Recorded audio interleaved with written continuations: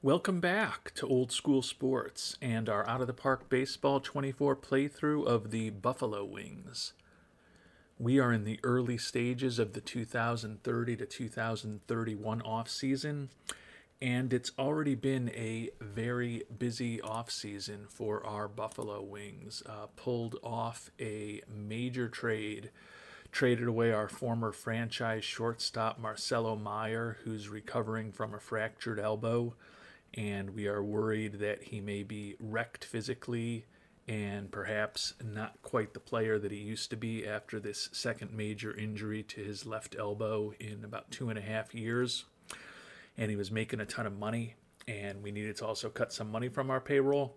So we traded most notably him and uh, closer Cade Smith, who is a very good player who was arbitration eligible, going to be making about seven to eight million dollars next year. Didn't think we could afford both him and Munoz, and decided to go with Munoz as our closer for next year. So we traded the two of them, and we brought back Dansby Swanson, and we got the Stars to keep a good chunk of his contract. So we are still in win now mode with these Buffalo Wings, although we are trying to shed payroll. Swanson is actually an upgrade defensively at shortstop.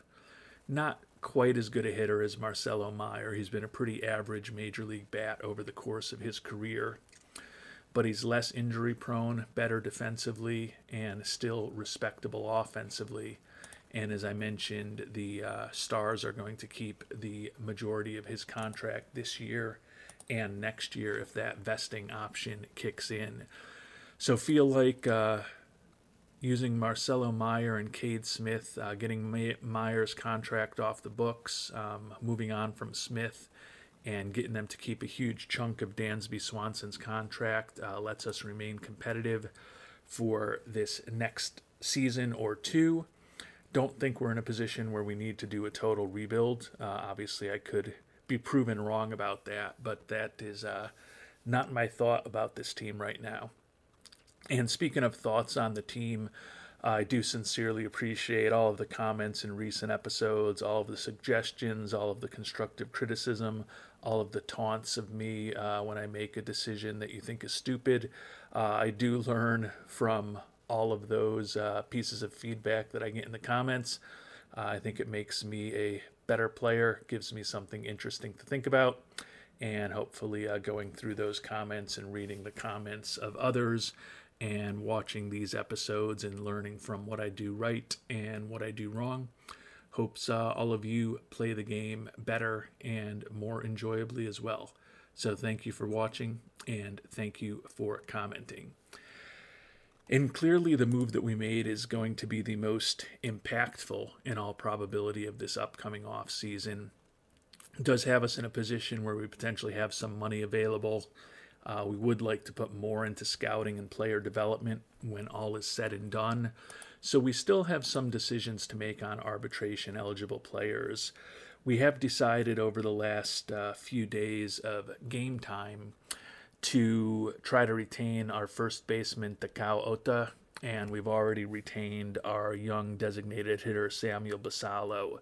Both of those guys are very one dimensional hitters, uh, don't bring much, if anything, to the table defensively, but they were number one and number two on our team last year in home runs and Basallo also led the team in ribbies last year. So just felt like we could not afford to move on from those two bats.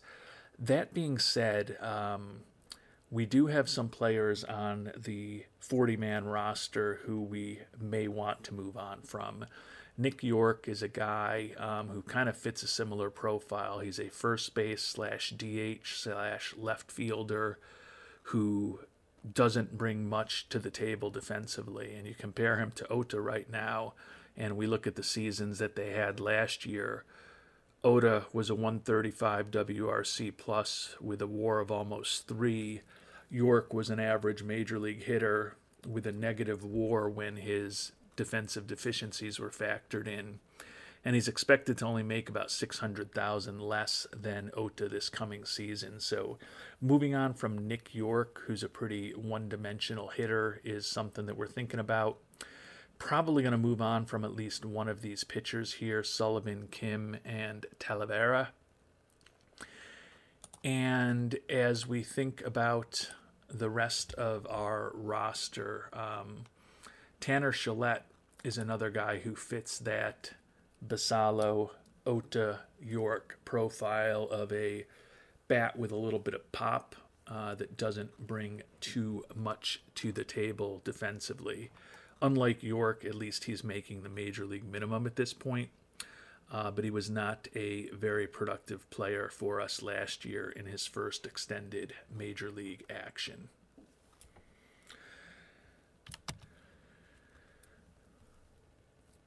And I do, as I mentioned, appreciate all the thoughts and feedback about the uh, trade that brought us Swanson.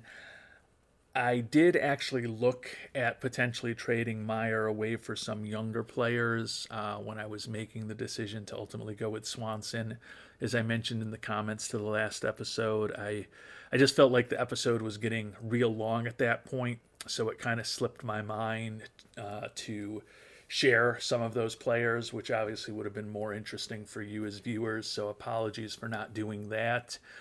And I also um, probably should have, uh, as Patrick DeBonis noted, at least shopped Marcelo Mayer for a prospect package. Um, I've tended to find the prospect packages when you use that feature for players. Um, I've found the potential returns on that generally very underwhelming in the past, so I don't even tend to bother using it anymore.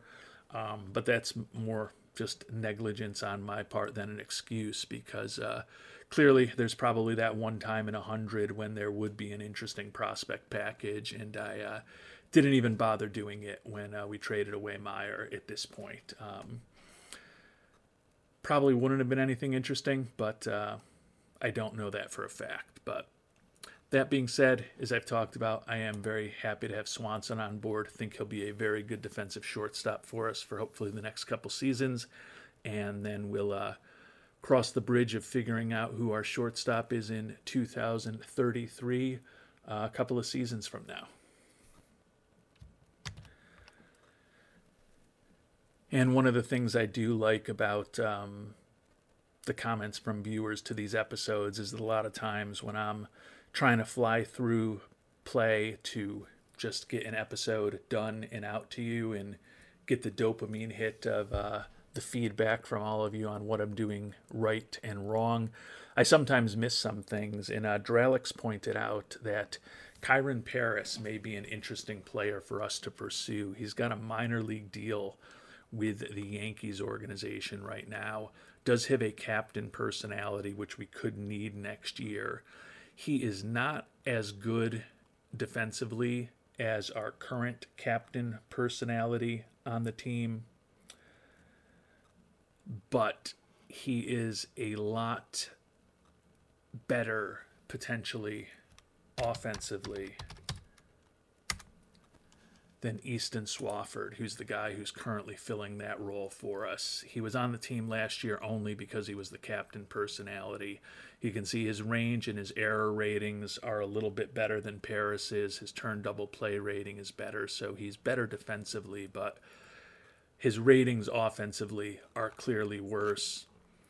He hit just 211 in the majors for us last year, hit 224 the year before in San Diego given that we are very likely to have um, one infielder who can't hit on our 26 man roster in Toshimitsu Katu, who is at least excellent defensively. I think potentially if we could swap Swafford for Paris, I think that would be a really good move for us because then we've got the captain personality that was the only reason we had Swafford on the roster last year. Still a versatile player defensively, although obviously he's not an optimal shortstop and not even an optimal second baseman or first baseman. Could trade him up to at least train him up to at least play third base a little bit in spring training uh, make him a little more versatile. But unlike Swafford, he at least has a respectable, potentially major league bat. So we are going to see what. Yeah, Swa, our assistant GM says, I want to do this deal. The other side offers a player we have no use for. I think we definitely have a use for Paris. Um, I'm going to offer this deal. I think this would be a no brainer for us. Um, might just mean I have no brain, but I think our assistant GM is way off. I'm going to actually probably be a little surprised if the Yankees do this. Oh. We've submitted it to them. We'll hear from them. And we've also actually submitted another um, deal, I believe, also to the Yankees for a uh, left handed pitcher. So we'll be hearing on that shortly as well, hopefully.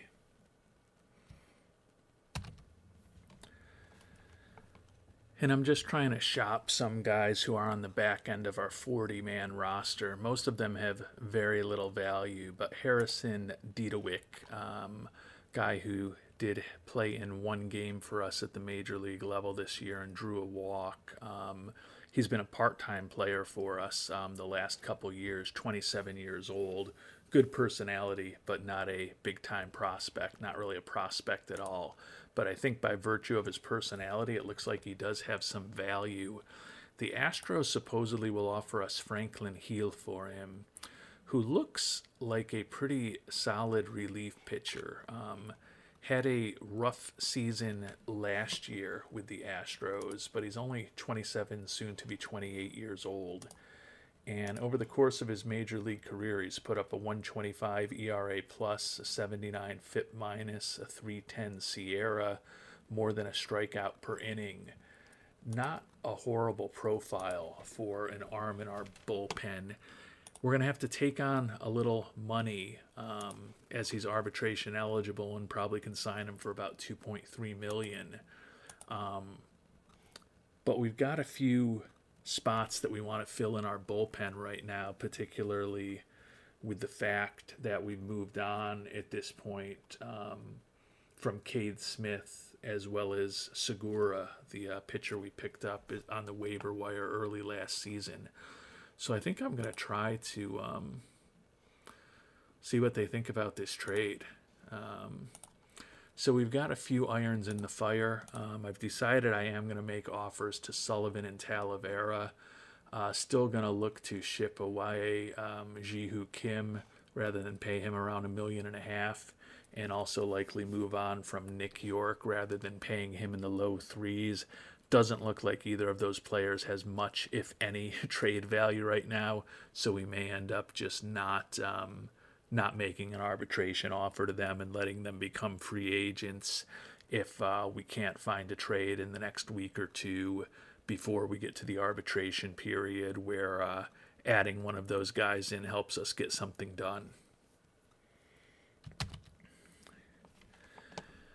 And we've heard back, and it looks, looks like we are potentially close in all three of the different trades that we've thrown out there. Um, Swafford for Paris. Um, yeah, apparently that is not as uh, easy as it we may have hoped. Uh, they're looking for a big time player in addition to Easton Swafford to send us Kyren Paris. Um, if we wanted to just dump salary, moving on from the third baseman, Jace Young would be a potential option. Uh, but I may just try putting in some volume and seeing if there's anything we can do. Um, I would like to bring Paris on board. Um, I think he fits what we need for a utility infielder better than Swafford does with a better bat. But um, I'm not going to pay a crazy amount for a guy on a minor league contract who's 28 years old, who, best case scenario, is a utility infielder. Uh, as far as Houston and Didawick for Franklin Heel, uh, we can get that deal done because they're just looking for us to throw in just about anything. Um, so I think that makes sense to get Didawick off the books. Gonna have to spend a little money on Heel, but um, I think it would be worth it. And then the other trade um, is another one that we're not really close on, apparently. Got to put in a uh, pretty important player. Uh, but that was trading away the reliever Fernando Guanare, who I don't think is a big part of what we want to get a left-handed reliever, Luis Rodriguez from the Yankees. Um, don't think he's a great arm out of the bullpen, uh, but we're probably going to need a lefty with the fact that we're moving on from Adrian Morejon, and um, thought that he looked like someone whose price may not be exorbitant, but uh, right now the Yankees certainly are looking for a lot for him, in my view.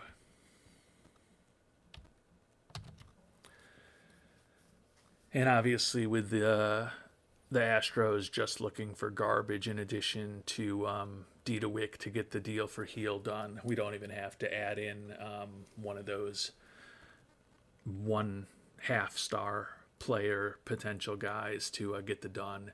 So I think we're going to go ahead and complete that trade, get Didawick off our books. Um, we are going to have to make an offer to Franklin Hill. I think around the $2.3 million area should be right around the magic number to get that done. So we will put an offer out there to him. So now it's a matter of can we get anything for Kim or York in the coming days um, before we do get to the arbitration period. And we've got Takao Ota signed and back on the team. Uh, the fans pleased with that. And we did um, make additional offers to the Yankees on those two players that we are looking for. Uh, we'll see whether or not there might be something we can get done or not. Um, yeah, we offered Guanare and Kim to the Yankees for Luis Rodriguez, and they are still looking for an important player or a decent prospect. Um, the one exception is Jace Young, um, but I just don't know that there's a better option for him at third base. Uh, and even here with the deal for Kyren Paris, um, I like the idea very much that Drellick's brought up. But even if we offer them Swafford and Tanner Shelett, who is not a worthless player with that home run power, um, even though he's not necessarily a great catcher, we still need to add in a pretty useful player or one of the better prospects in our system to get the deal done. So, um, not sure where we stand. Not feeling great about things right now, unfortunately.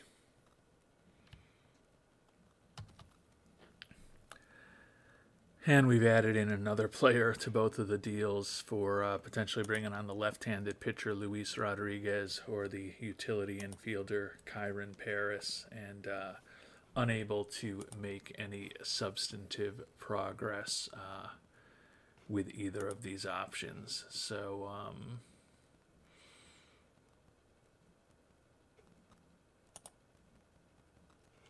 I don't feel like we have to chase after either of them. I really thought that getting Kyren Paris was going to be a possibility, but thus far um, it hasn't proven to be. And a couple more signings of arbitra- arbitration eligible players uh, the reliever Emerson Talavera and the back of the rotation pitcher Sean Sullivan, uh, both back with us for next season. Uh, so that is good news. And it does not look like we're going to be able to get anything done for Kyren Paris, unfortunately. Uh, like the idea there, Drellicks, but it seems like uh, the Yankees are putting a lot of value on him right now, unfortunately for us. But it's a long off season. There will be opportunities for us to do something at some point. And Franklin Heel, who we recently picked up in the trade, is signed. Um, looks like we may have a Silver Slugger winner, or we do have a Silver Slugger winner there. No Gold Glove winners this year, so Deshaun Seifu's streak of winning Gold Gloves is gone. We didn't get a note on that, but um, we did make another offer to the Yankees, and uh, they've got a real high opinion of Kyren Paris. We had offered Frank Castillo, who is a um, middling prospect, the guy we picked in the fourth round in 2026, hit a decent year in Double A this past year, hit 258, 24 doubles, 16 homers, but he's almost 23 years old. He's got good range in the outfield, a little bit of speed. Just don't really know how much he's really going to hit. Um, we'd have to add in Lang Choi to get the deal done, who is a minor league free agent signing we made out of Taiwan. Uh, almost three years ago at this point. Um, his spot on the 26 man roster is not certain, but he still has option years, um, one option year. So it's not like we have to get rid of him. Um, but he's certainly a less valuable player than a lot of the other guys they want in this trade. And I have looked, I just don't see any decent options at third base for us next year besides Jace Young. So right now, my plan is to bring him back as our starting third baseman. Um, he's pretty much a major league average kind of third baseman when all is said and done, but I think he sadly may be the best option we have next year. Um, still going to keep trying to get something done, um, but I don't want to spend a ton to get Paris on board. Oh, and I almost forgot to check in on the Silver Slugger winners, but uh, Adley Rutschman, in his second year with us in Buffalo, had a uh, much better offensive season than his first year. Still hitting the 240s, which is disappointing, uh, but 33 doubles, 23 home runs, walked 76 times, 126 WRC plus, 4.6 WAR on the year, and he is your Silver Slugger at catcher for the National League. And Samuel Basallo will be back with us next year for his fourth season. He is now three for three, uh, being the National League Silver Slugger at designated hitter uh, over the course of the three years of his major league career.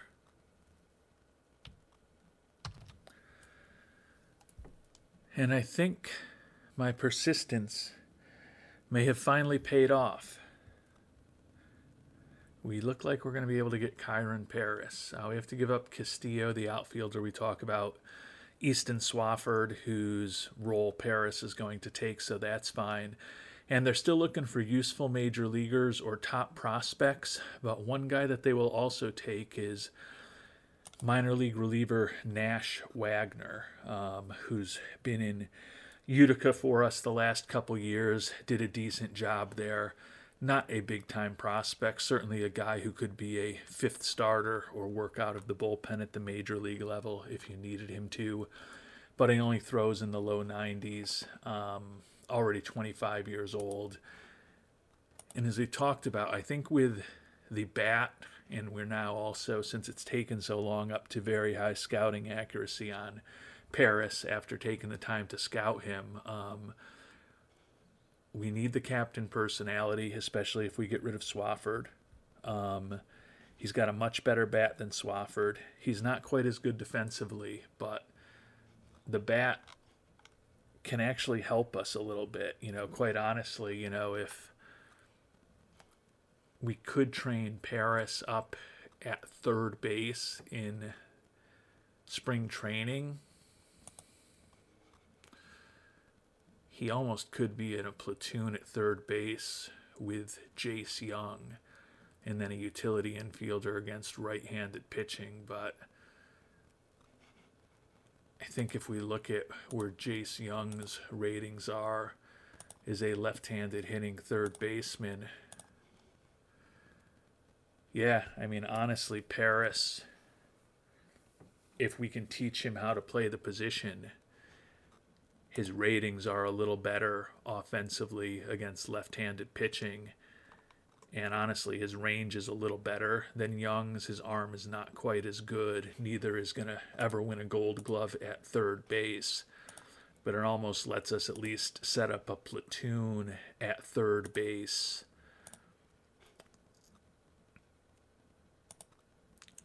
Might get, be able to help us squeeze a tiny bit more production offensively out of that position.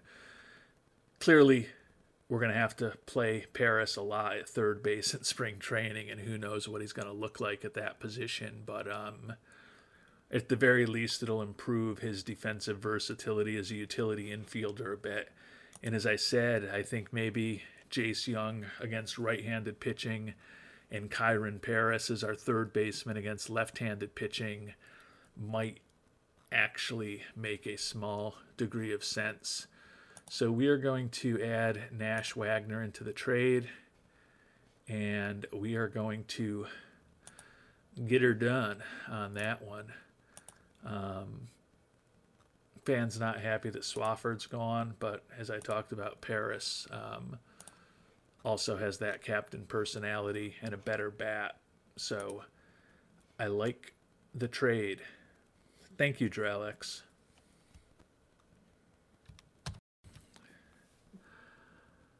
All right, it looks like I may get one more trade done here before the arbitration period. And this is one that I've just been grinding out uh, over the.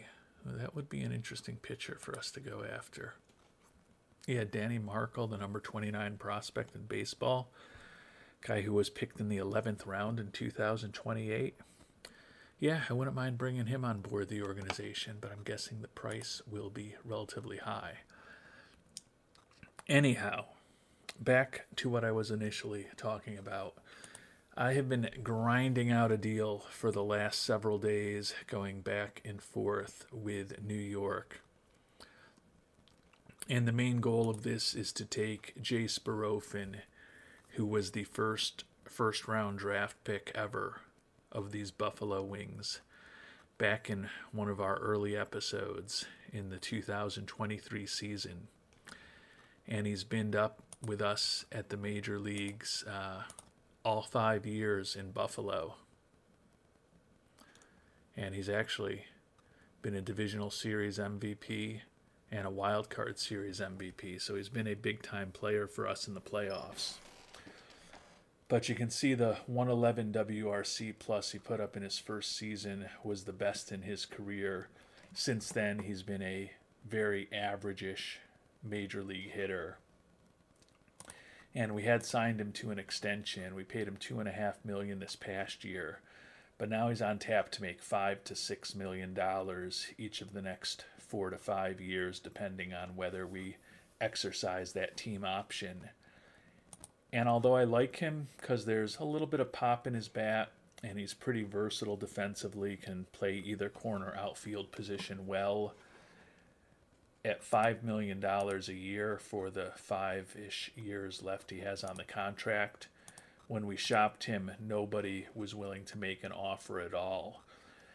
So we started by being willing to retain 50% of his contract, and we got an offer of Peyton Battenfield from the Yankees, who is a 33 year old pitcher who um, looks like he's borderline useful. I don't love the personality. It's possible that we just waive and DFA him immediately upon completion of the deal. Like I said, I don't hate his arm, but I don't love his personality but we've been adding in players to get the deal done, um, including Nick York, who we weren't going to make an offer to anyways. We are going to move on from him. Jaquan Bethea is a former seventh round draft pick. Um, he's only gotten as high as high A ball. Uh, just don't think he's going to have the stuff or the control to ever be much of a major leaguer. David Rivera is a minor league pitcher who hasn't gotten out of rookie ball if he fully develops, he could be a useful-ish arm in the bullpen. He is a 20-year-old who throws in the mid to high 90s, so there's definitely some potential here. But again, I had to pay up to get out of that Barofin contract without retaining anything. And the one that actually hurts a little bit is including 24 year old outfielder Lang Choi. Honestly, with us moving on potentially from Barofin, Choi is a guy who would have been in line for a lot more playing time. I definitely don't love giving up on him, but I feel that in our organization, even if we let him go, among younger guys who could come up and presumably join Featherston, who's going to be playing in center, and then once he's healthy again, presumably Vance Honeycutt will be our starting left fielder. Um, we've got Josh Springer in the minors, 24 um, year old. He can actually also catch with his 50 50 catcher ratings. He could conceivably be our backup catcher next year, but he's a guy who could play first base or corner outfield for us. Um, we've got Rafael Redillo, who we picked in the Rule 5 draft a year ago not as good defensively, but a potentially interesting ish bat. And then we've also got Vaughn Necker, who could play, again, a corner outfield spot for us. Not a great corner outfield, but he could. He came up at the end of last year. He doesn't really have anything left to prove in AAA. So he'd be fighting for a fourth outfield spot or potentially even an opportunity to maybe compete for some time in right field. And it could also open up some playing time for Tanner Shalat. Now, I don't think any of these guys are as good defensively as either Barofin or Lang Choi, but they're all cheaper. Um, I'm going to try to take Choi out of the deal one final time and just see what could get it done. But the options haven't been great. It feels like Choi is pretty critical to getting the deal done. Um, so I may just have to suck it up and let let him go. Um, I don't love including him because I think he is defensively the best outfielder out of that crew that I just mentioned. And his bat is fine. I mean, I wish he would walk more, but as a fourth outfielder, um, he's got a chance of helping us. And then I also need to keep in mind with the money that we're taking off from Barofin and York and some of these other guys, we're going to have materially more than this 12.7 million left when free agency does begin again, obviously, we are going to want to bolster scouting and player development further, but we could have the opportunity to add a veteran bat for the outfield in free agency or pick up someone in trading in in um, in a trade either also. So I uh, don't love giving up Choi if I have to, but if um, if I have to include him to get Barofin off the books, I think I will.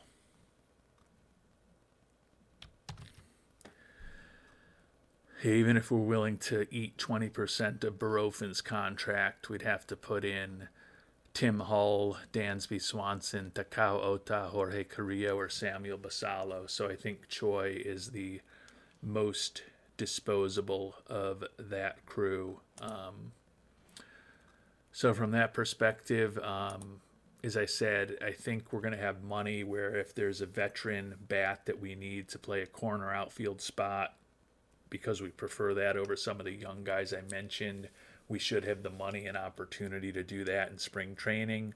There's also the trade market. There's also the Rule 5 draft.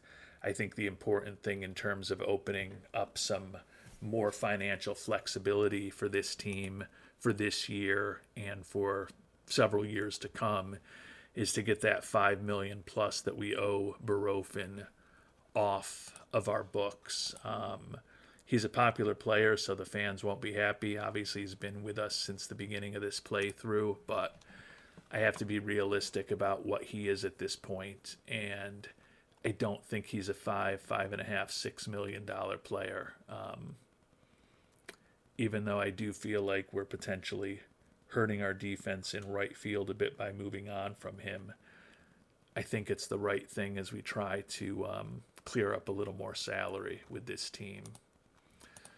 So we are going to go ahead and complete the deal. Fans not happy that Barofin is gone, but they are happy to have Battenfield on board. Still have 100 fan interest, and you can see that uh, with York and Barofin officially off the books now, um, more and more money continues to open up for us for uh, use as free agency approaches.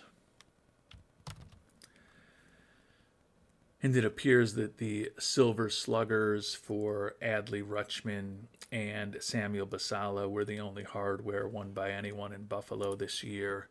Uh, no votes for any of our rookies uh, for Rookie of the Year. Not that I was expecting that. Uh, AL Cy Young Award goes to Spencer Strider, who was 16 and 8 with a 307 ERA and 271 strikeouts for the Brewers. Unanimous, or not unanimous winner. There's 32 votes now, not 30. Uh, Pierce George of St. Louis, also a winner with 30 votes for first place, 16 and 7, 293 ERA, 286 strikeouts. Uh, Ohtani finished fifth in the voting for our Buffalo Wings. The American League uh, Most Valuable Player, Caleb Gideon Lore of the Twins, 282, 37 homers, 126 ribbies for the young outfielder. And the National League MVP, Elly De La Cruz, one first place vote to Michael Harris that kept De La Cruz from being a unanimous winner. Uh, 318 average, 40 homers, and 98 ribbies for the veteran at this point, third baseman. Uh, looks like our Silver Sluggers, Samuel Basallo and Adley Rutschman, did get some votes for National League MVP, but that is it for the Buffalo uh, award season. So now it's just a matter of simming a few days to the salary arbitration hearings, free agency. We'll see who's actually going to be on the market in free agency, uh, see what the international free agents look like, and also um, see what our money situation looks like when all is said and done.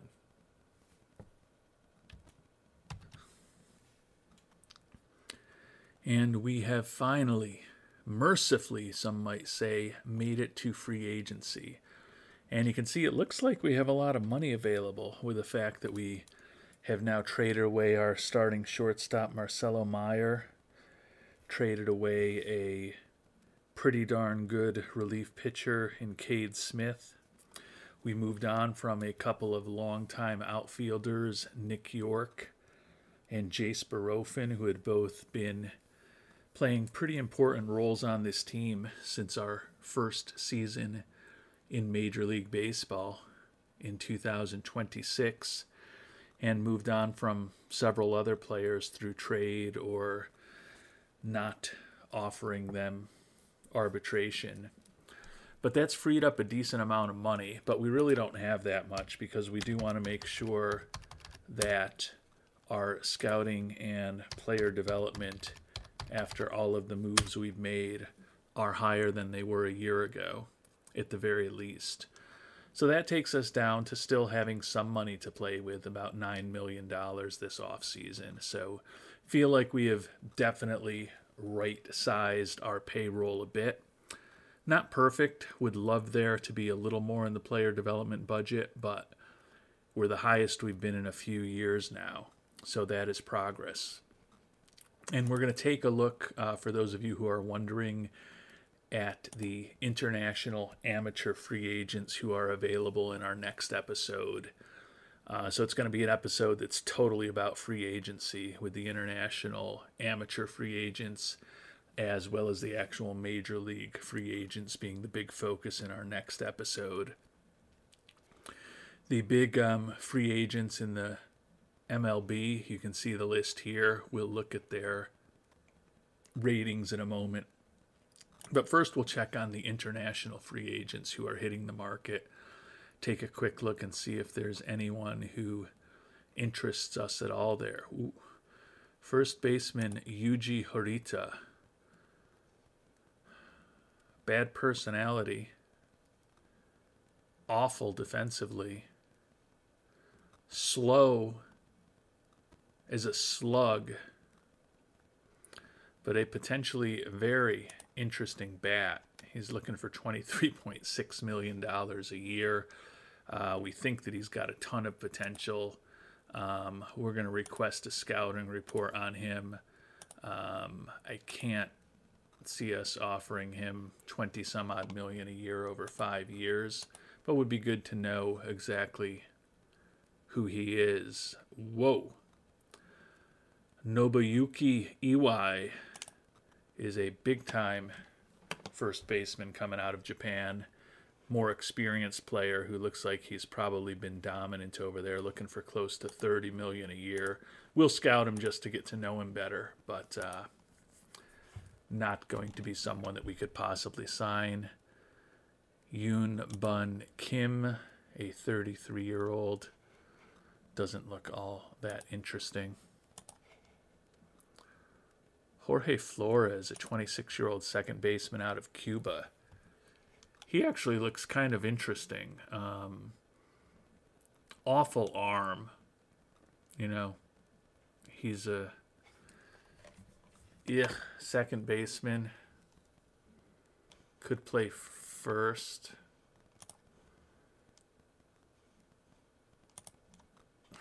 He's a utility infielder, but he's he's got a bat potentially. Um, we'll request a scouting report on him. I think three, three and a half million is probably more than we want to pay for him, given his mediocre defensive ratings with that poor arm and not so great double turn two rating. Um, center fielder Young Hoon Yu close to the Deshaun Seifu profile, although not quite the same contact, not quite the same speed. Very good defensively, though, like his durability. Um, I definitely would offer him a minor league contract, but that doesn't seem to be something that he's interested in right now. Um, he's interested in a minor league contract, which becomes a guaranteed contract if promoted. That is something that we should at least consider for a durable 23 year old center fielder who looks pretty solid defensively, has some speed, uh, never going to walk much, never going to hit any home runs. But um, if he gets the contact up, decent gap power, won't strike out, could be a useful back of the roster type player. So he is not entirely uninteresting to me. But moving on to the major league free agents, um, as there always is a large crew of excellent relievers on the market here.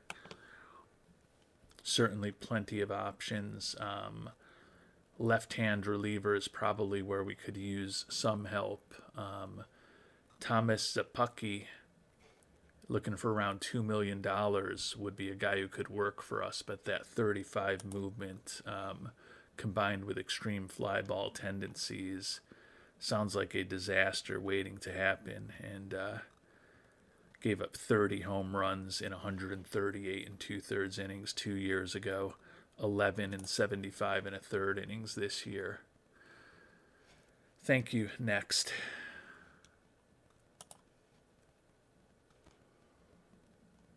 Our old buddy Garrett Crochet looking for five and a half million. Luke Fox, maybe ish. 1.7 million. Sam Hentges looking for big money. Brandon Hughes not looking for real big money. Our old buddy Adrian Morejon looking for huge money. Maybe Brandon Hughes, the 34 year old lefty. Um, definitely tougher on lefties than he is on righties. he's not looking for a ton of money. He could potentially work. And then Luke Fox, don't love that he's fragile, but again, he's not looking for a ton of money. A little better against lefties than he is against righties. Those guys could definitely both be in the mix as a left handed arm to add to our bullpen in free agency. We don't really need a starting pitcher. We don't have the money for a top end starting pitcher.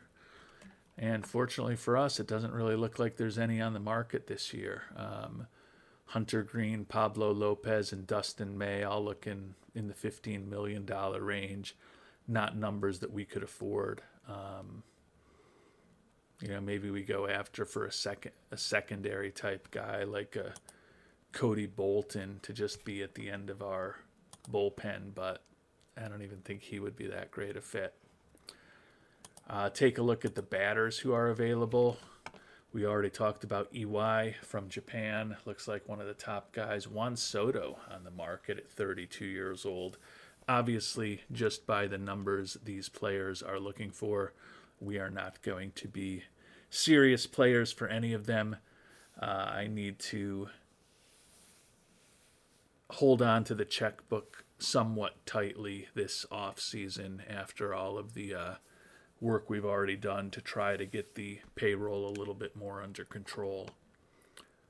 Um, but we still intend to compete next year, so have some um, we have some holes to fill. One is potentially backup catcher if we wanted someone a little better defensively than potentially the rookie Springer or going with Gillette slash Basallo as our backup catchers like we did a year ago. Um, Will Banfield is a guy who was available in some of the trades that we've been looking at over the last um, several weeks of game time. Love him defensively, but that bat is just brutal. So that's why we never uh, never really went after him in any trades. Rafael Marchand, another pretty ugly bat, decent defense. You know, if we could eventually get either of those guys on a minor league contract, probably wouldn't hurt to bring them into the organization. But doesn't seem like there is any obvious answer that we would be able to afford who would be a um, quality backup catcher for us. If a uh, you know if one of these guys, a Campusano, a Herrera, a Reese McGuire, if one of these veterans happened to be still on the market in three months, don't love Herrera's personality. Um, you know, Campusano in particular, if he was on the market three months from now and was looking for three million dollars, would not be a bad guy to bring on board as a backup catcher. I'm sure he's looking for a starting job right now, and he probably will find one. But we'll keep our eye on him. I've said I didn't think there were any interesting options at third base and among guys that we can afford, you see, getting to people we can afford, we're down into the Jonathan Aranda range, who's not even as good a hitter as Jace Young and arguably is a worse defensive third baseman than a Jace Young. So that's part of the reason we hung on to him. You know, obviously we didn't know who exactly was going to be on the free agent market but for the money we have to spend, I think we're better off with Jace Young than any of these guys. And then we'll take a look at the outfielders because, as I talked about, with the departures of Choi and Barofin and York, we are definitely light in the outfield uh, for the first time in a while. But that is a position where oftentimes we can find someone who is going to linger on the free agent market for an extended period of time and ultimately maybe sign for significantly less money than they expected. Um, don't see any obvious guys here who are going to be around that long. Ariel Almonte, um, just at a very high level. Looks marginally interesting to me. A little bit of home run power, tiny bit of speed. Not horrible defensively. You know, could certainly play him in right. Would love the range in error to be higher. Obviously, you always want every rating to be higher. Um, left handed hitter. He's not much more than a replacement level bat, but um, if we needed a body, maybe.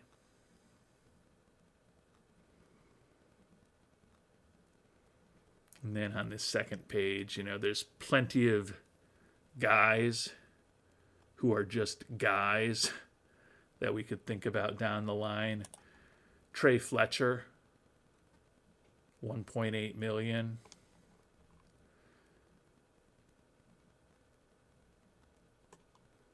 Has 42, 43, and 28 homers in AAA for the last few years.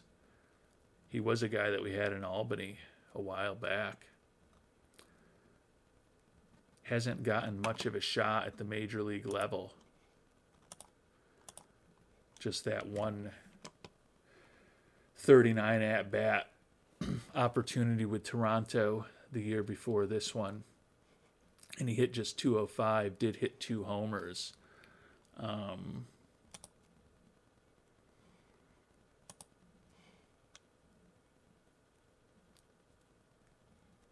a little better against left handed pitching than right handed pitching, but he's a guy with a little power, a little bit of uh, sneaky speed on the base paths, a little bit of range. I mean, honestly, when I think about moving on from Jace Barofin, um, Barofin's personality was a little better. He was a little better defensively, but Barofin didn't have the speed of Fletcher. I don't think he was quite as good overall in terms of his gap power, home run, eye combination. Obviously, I can look at Mr. Barofin and find that out um, rather than having to just try to remember these things. But yeah, his gap power was the same, but his home run power and his eye are both a little bit worse. Not as much speed, as I said. Cleaner personality, a little bit better defensively. But would I rather pay Trey Fletcher a million six, a million seven than paying Jace Barofin five million? I think so. So I think Trey Fletcher is a guy um, that could be in the mix for us if we decide we need a little bit more of a uh, veteran presence. He's 29 years old, so he's got the age of a veteran, but clearly doesn't have a ton of MLB experience at this point. Oscar Colas, another guy, personality is the issue with him. Selfish but respectable defensively, a little bit of a bat, an Iron Man, a guy who could be out there every day. So there are definitely guys in that one and a half to two million range that could potentially come in and join our team in a platoon role in a corner outfield spot for us. Um, so we've got a lot to think about. Um, if, as you guys have been seeing me pop through these screens and uh, talk if there's something that stood out to you as a guy that maybe we should go after given the limited financial wherewithal we will have please let me know um, we're not going to be huge players in free agency but hopefully we can uh, find a pitcher maybe find a backup catcher or an outfielder in free agency this year, bolster our team a little bit. Rule 5 is going to be important, and we'll continue trying to hit the trade market over the next few months also as we try to uh, reload and ensure that our Buffalo Wings are a playoff team for a fourth consecutive year in 2031. And we will find out what type of progress we're able to make in the free agent market and we'll also dig into the international amateur free agents in our next episode. Until then, thanks so much for watching and hope you have a great day.